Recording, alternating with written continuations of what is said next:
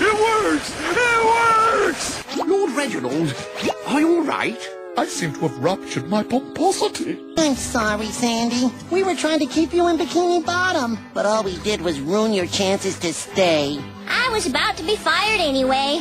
Thanks for trying to help, SpongeBob. You too, Patrick. That's Mr. Dr. Professor Patrick. Don't push it. Sorry.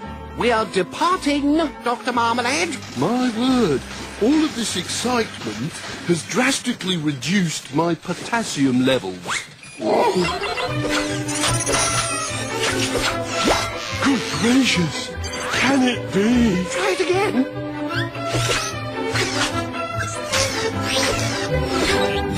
Oh, it is! It is! It's the banana peeler we have been searching 117 years for!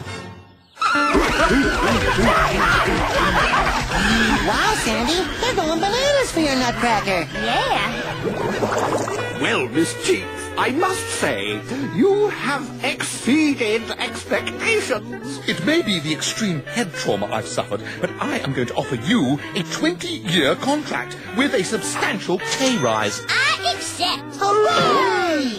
I expect great things out of you, Miss Cheeks. Great things.